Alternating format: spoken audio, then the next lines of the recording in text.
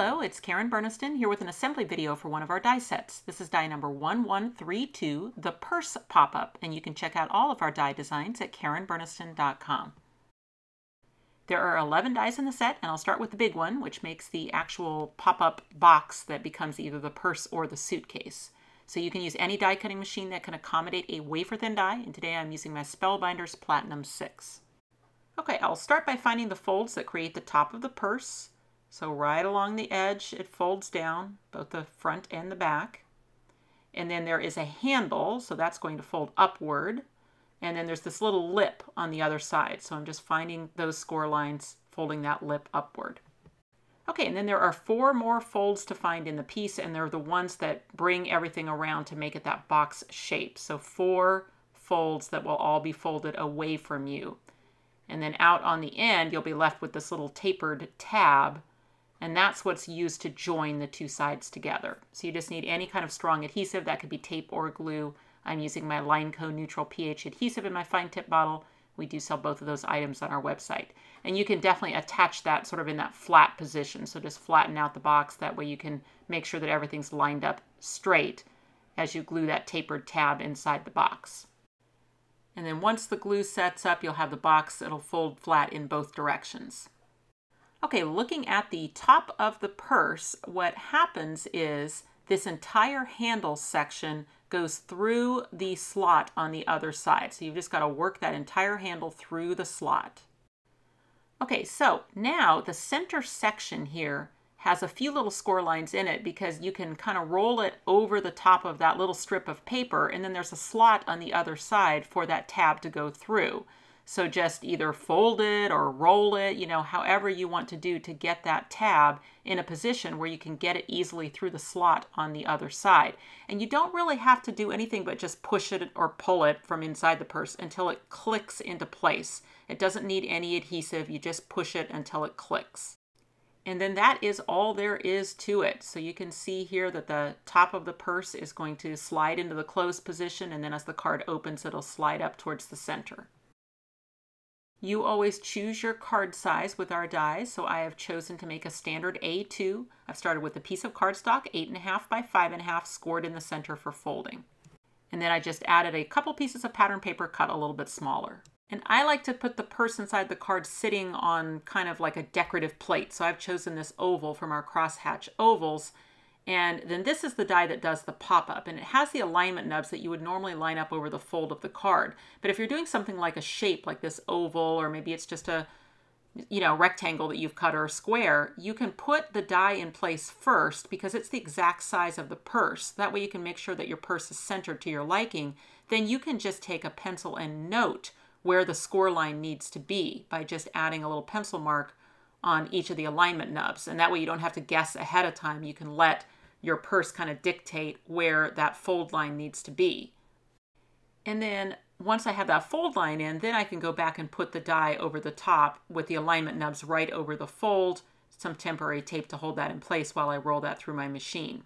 So what that die does is it cuts the two tabs that hold the purse in place and they both fold upward like this. The fold in this oval is going to line up with the fold of the card but actually, since my card has a fold in it already, I really would rather not have a fold lined up in a fold because then it's very difficult to get the card to open fully flat open, which is how you want to view the purse. So instead, I'm going to take my scissors and just trim on either side of the fold of my oval and just remove a little sliver of cardstock so that when this goes into the card, it can just sit next to the fold on both sides. And I like to leave just a little bit attached. You can see at the top at the top, I haven't separated this into two pieces yet because if I keep it together like this while I put the purse in place, just makes it a little bit easier.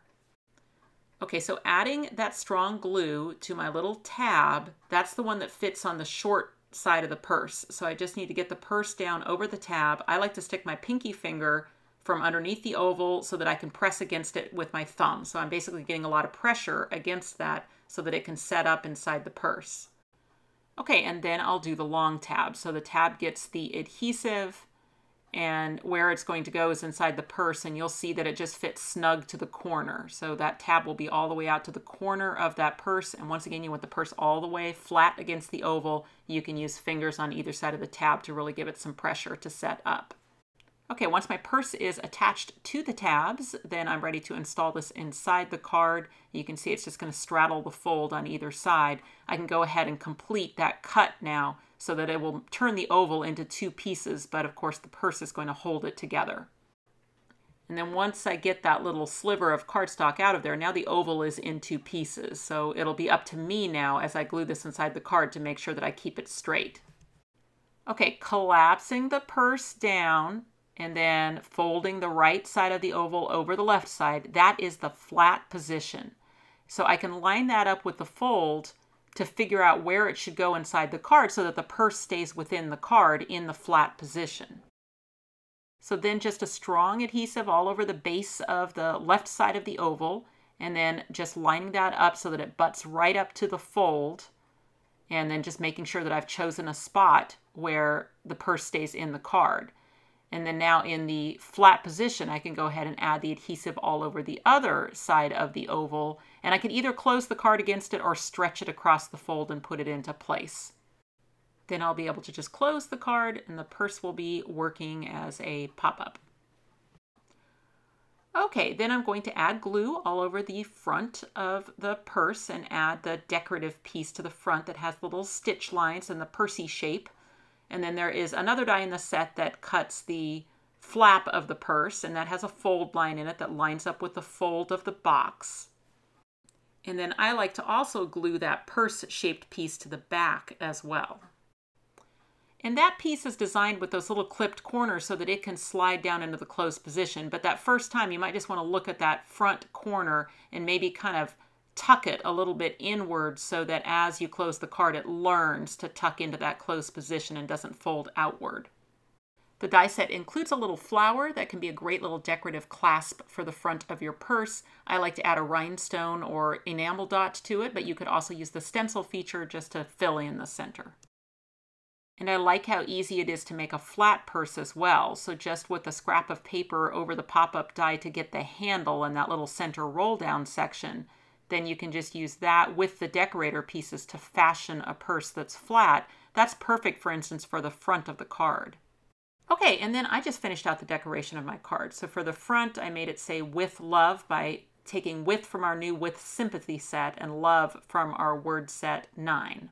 I also used our tiles pattern plate and border blends argyle and I use those same borders around the perimeter of my card on the inside and then added in our new dolled up charms and the thank you. And of course I was already using the ovals. Okay, and my finished card is just a standard A2, so it will mail in an A2 envelope. So the purse doesn't open because, of course, it needs that sliding mechanism at the top to work, but you have spaces to tuck little things in. Now, somebody asked about a gift card. The purse isn't big enough to hold a gift card, but I wanted to show this idea by Karen Aiken, where she just made a little pocket on the left side of the flat part of the card to include a gift card. I thought that was very clever. The die set also includes some decorator pieces for when you want to style this as a suitcase instead of a purse. So you're going to start out by making the pop-up box identical to as if it were a purse. So creating the box shape and then getting the handle and the center section through the slit at the top. The center section rolls over the top and into the slot on the other side, pushing it through until it clicks. Now I designed it so that that little rollover section would be decorative and I like that as the front of the purse or suitcase, but you do have the option to just turn the entire piece around and then you can use the back as the front. And you can see it has a little bit of a different look. So you don't see as much of the rolled section and you also don't see as much of the suitcase being open. For those decorator pieces in the set, there is a buckle. I decided on some glitter for my buckle. I like to just take a tool and go in there and kind of work the slits so that it makes it easier to get the strap through. So there's a little stitched strap die in the set that just pushes through the buckle like this. In addition to the buckle and the strap, you have a die that will cut the four decorative corners. You can either limit those just to the front of the suitcase or you can keep cutting them and go around all the corners. Since I'd turned the suitcase around, the handle was the green, which was the back of the paper, and that didn't match so well with the brown. So I just took a scrap of brown over the pop-up die to get the handle section using adhesive only in the upper section so that the bottom could still slide. And you can see how I added more of those little corner pieces to the top and the sides of the suitcase as well. And you can definitely experiment with different shapes to be below the suitcase or the purse. In this case, I'm just using a tag die. And instead of scoring it first, I just marked it with the alignment nubs and just drew the line on since I knew I was going to cut it away anyway. So I didn't really have to score it first. I just used the pop-up die to get the tabs, then just drew a straight line so that I could see where to cut. And then I'm going to do that same trick where I take out a sliver around that line so that that can go straddle the fold of the card. And I leave it a little bit attached so that I can attach the suitcase to it before I finish out the cut. I attach my suitcase to the tabs exactly like I did with the purse. Then I'll finish out cutting the rest of that fold away so that the tag becomes two pieces, much like the oval did. And then I just find that flat position of the suitcase where part of the tag folds over the top of the other part. That's the side that'll line up with the fold. It doesn't matter which side you glue on first. You just once again have to pay attention that you're placing it low enough in the card that the suitcase will be hidden by the card when the card is closed. And I like to leave that little gap in the fold. That's why I cut that little sliver out of the tag. So you definitely don't have to have a large item underneath your suitcase or purse, just enough to hold the pop-up tabs. I just used a label maker for the front of the card to say, have a great trip. And then inside I used the word enjoy from our word set six. And three other little accessories that come included with the purse die set are that plane and the postage stamp. And then there's a little tiny tag that's on top of the suitcase attached to the handle. Now the tag that the suitcase is sitting on that I used as decorations, the big tag, that actually comes out of our tag book die set. I love to end assembly videos with inspiration from our design team. So here is a travel card by Kelly Booth. We have a new set of dolled up charms that goes great with the purse shown here on this card by Kelly Booth. Slimline cards are very popular right now and Frances Burns shows how the purse pop-up will fit in a slimline. I love Sandy Diller's choice of animal print for the purse on this card, along with a matching pair of animal print shoes from the Dolled Up Charms. Lois Bach decorated the purse as a medical bag for this great Get Well Soon card. And I would say that Sandy Diller definitely nailed it with this idea of converting it into a toolbox. And then finally, another really clever idea by Sandy Diller, this time converting the purses into a circus train. The purse pop-up die set, which can also be done as a suitcase, is available on our website as well as a lot of your favorite online and local retailers. Shipping starts August 3rd, 2020. Thanks for watching. If you click on the website link, you'll go to KarenBurniston.com where you can find out information about purchasing these dies as well as links to all my other social media accounts. You can subscribe to this YouTube channel and check out some of my other videos. Thanks so much for watching and I'll see you next time.